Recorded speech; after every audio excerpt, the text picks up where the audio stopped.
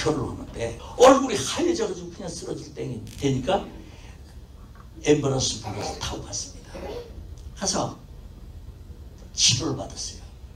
한 2주일 치료를 받으니까 그 병이 깨끗하게 났어요.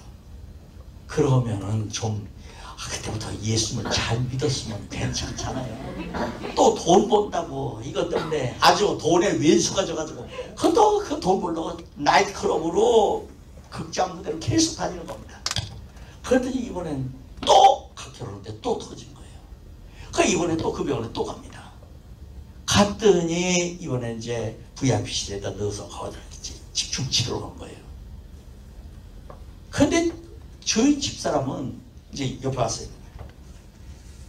그 이상하게 막 열이 40도가 나는 거예요. 나 죽는다고 소리 소리 지르면서 여보 빨리 그 원장님 불러와 그랬더니 그 하는 얘기가 당신 잠자고 있어요. 원장님 지금 다녀가셨어요. 내가 지금 잠자고 있을 때가 아니야. 지금 열이 40도가 넘어서 지금 헛개비가 보여. 사람 죽겠어.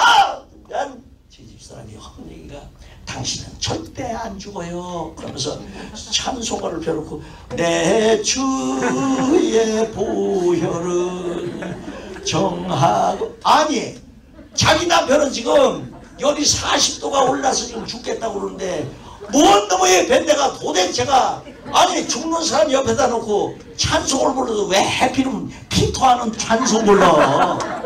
에? 아니 보혈 찬송을 부르니까 내가 그때 얼마나 속상한지 몰라. 이 저의 밴드 이 봐라 내가. 이 병만 나오면은 내가 저 대번에 이혼하고 막 버렸만 이혼하다고 잔뜩 빌르고 나왔었는데 나와서 회복되고 나니까 어, 시작하면 잊어버리고 여태까지 데리고 살아요. 그런데 이제 그렇게 말을 안 들으니까 하나님께서 이번에는 이제 이 병이 이 심하게 돼가지고 그래서 기침만 해도 뭐 침만 뱉어도 피가 콸콸 나, 나온 거예요. 그래 할 수 없이 대학병원으로 갑니다. 이대 부속병원으로 갑니다. 그때 동대문에 꼭대기 있을 때예요. 거기를 일부러 찾아가서 한국에서 흉과 맥과로 유명하다는 어떤 어, 과장님이 계십니다. 그분을 찾아가보니까 그분이 하는 얘기가 엑스레이 찍더니 아 당신은 내가 처방해 준 대로 6개월만 먹으면 이 병 뚝 떨어집니다. 걱정 마십시오.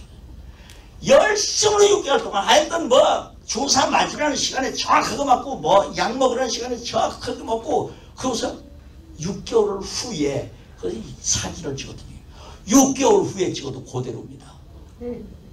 그렇게 정성을 들여서 먹었는데도 1년을 먹고 찍어도 그대로예요. 1년 반을 먹고 찍어도 2년을 먹고 2년 반을 먹고 찍어도 그대로예요. 어? 3년을 먹어도 그대로입니다. 그러니까 그분이 탁 보더니 당신은 참 이상합니다. 내가 이렇게 해서 처방을 해주면 6개월이면 전부 안 떨어지는 사람이 없는데 당신은 참 이상합니다. 이제 당신은 이 대한민국에 나오는 약에선 최고로 좋은 약 전부 다 먹어봤기 때문에 이젠 약발이 듣지 않습니다.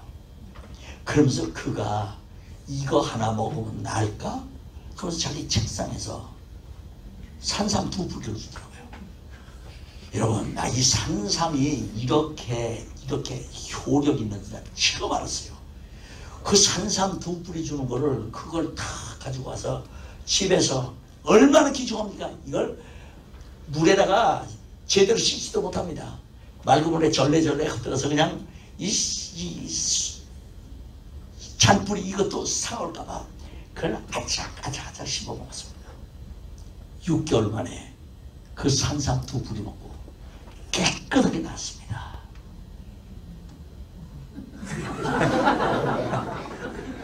이 양반들은 감동을 안 받네. 산삼 한 뿌리가 얼마냐고요?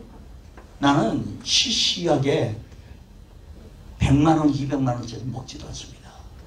그러면 산삼 한 뿌리에 몇 년짜리 먹었냐고요?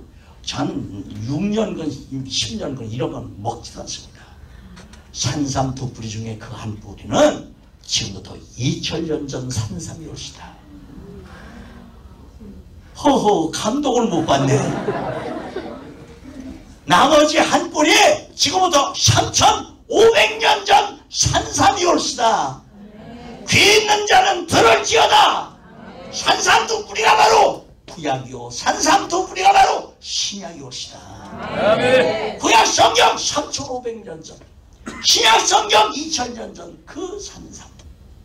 산삼보다 더한 이 말씀. 이거를 그 의사 선생이 불신자인 것 같은데 왜냐하면 그분이 책상 위에 담배 이 재떨이 같은 게 있는 걸 보면은 불신자 아닙니까? 그런데 그분의 입술을 통해서 뭐라고 하냐? 넌 예수 믿어야 산다 이 소리예요. 그래서 그분이 어느 말씀이 당신은 이제 하나님을 믿으면 모를까? 하나님이 고쳐주시면 모를까? 자기 손에서 더 이상 약 쓸 게 없다.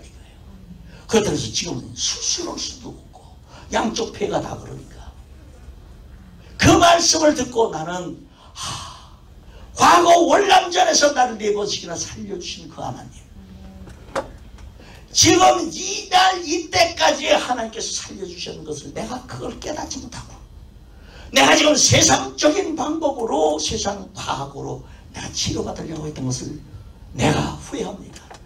그런 마음이 있지만 돌아서지를 못하겠는 거예요. 마음이 이쪽으로 가 있으니까 할 수 없이 거기서 약, 의약 분업이 없을 때입니다. 그때 기다리고 있어요. 기다리고 있는데 약제과에서 약을 파는데 폐병약이 그 당시에 보름치만 돼도 이만큼이었습니다. 이걸 한 보따리를 준 걸 이걸 싸가지고 나오면서 그래 내가 이걸 먹어도 죽는 거고 이걸 안 먹어도 죽는다면은 차라리 그냥 안 먹고 하나님께 매달려 살겠다. 그러면서 이걸 쓰레기통에다 그냥 집어넣었어요. 두 시간 이상씩이나 기다려가지고. 그러고서 빈손을 들고 집으로 옵니다. 그래서 그날부터 좌우간 성경을 갖다가 그냥 일하면서도 성경 보고 아주 이 성경을 창세기 1장 1절부터 요한계시록까지 아주 뜯어먹다시피 했습니다. 보고 어디 가면서도 차 타면서 매 시간마다 성경을 읽었는데 불과 6개월 만에 그 병이 툭 끊어졌습니다. 아멘. 허허. 아니 남의 남편이 병 낫는 역사가 일어났다면은 그것을 믿어질 때 여러분의 남편도 병 낫는 기적이 일어나요. 꼭 이런 데 와가지고 아 이거 설마 어쩌고 설마 설마 하지 마라.